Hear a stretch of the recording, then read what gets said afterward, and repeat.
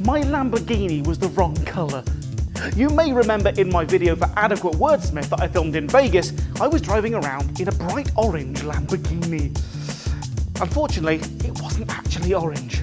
I rented an orange Lamborghini, but the day before I was due to collect it, the previous renter crashed it. So they sent me a red one, meaning I had to spend quite a long time in post manually changing the colour of the car, frame by frame.